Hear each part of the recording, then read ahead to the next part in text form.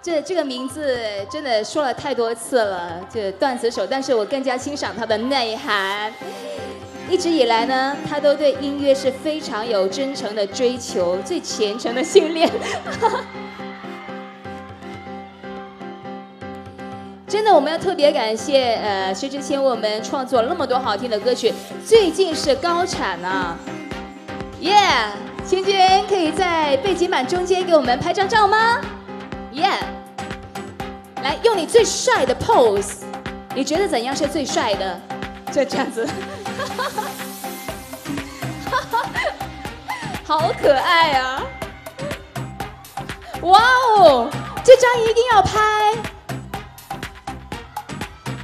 欢迎欢迎薛之谦，我们真的好久好久没见了。你好你好，对我记得上一次见面是认真的雪了，然后到现在陆续在听到你很多很好的作品。最近你是高产啊，对不对？除了是呃我们有麦克风，哎好，我的麦克风给你吧。刚上动物世界要暧昧，最近也在各大的榜单也是高居榜首。怎样感谢你粉丝的支持啊？是啊，哎怎么红毯上就一个话筒啊？我们主办方真的已经穷到这个程度吗？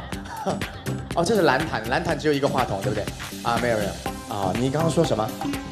我说你要怎样感谢你的粉丝？看看你的粉丝在那儿。看到了，嗨！好热的天，小心中暑哈，注意安全啊！好，谢谢谢谢，嗯。那，接下来呢，我觉得芊芊一定是更多的好音乐要送给各位的。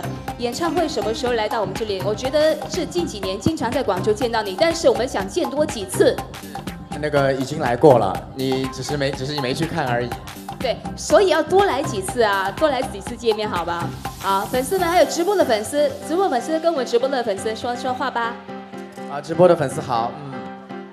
他就是呆萌了，我也觉得是不是？你们爱不爱薛之谦？爱。你爱他们吗？爱。哈 哈我觉得只要看见薛之谦笑，各位什么烦恼都不会有了。好，接下来我们请薛之谦去到我们的艺言的专访区，好吗？有请，谢谢。